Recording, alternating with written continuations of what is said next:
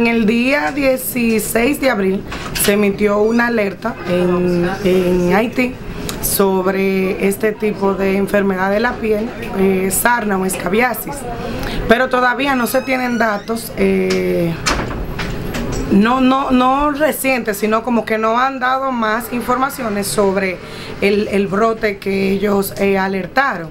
Pero nosotros como salud pública debemos de alertar a nuestra población y los centros de salud para las medidas preventivas eh, que vamos a tener. Se va a tratar igual que una eh, escabiasis normal, todavía no tenemos datos de, de sarna. Pero sí debemos de tomar las medidas preventivas para evitar que esto nos afecte a nosotros. Dentro de las medidas preventivas que vamos a tener es igual que, que una escabiasis.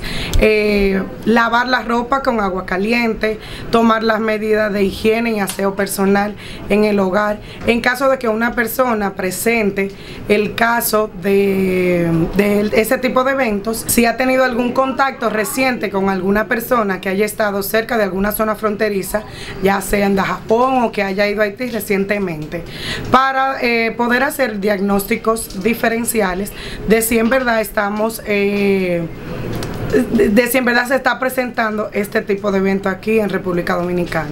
Sobre la, la paca que traen los haitianos, si a través de eso puede haber contagio.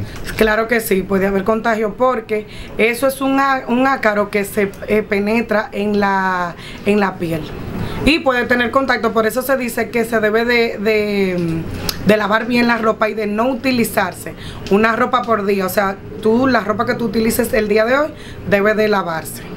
Igual que la sábana de las camas con agua caliente y que tengan contacto con el sol.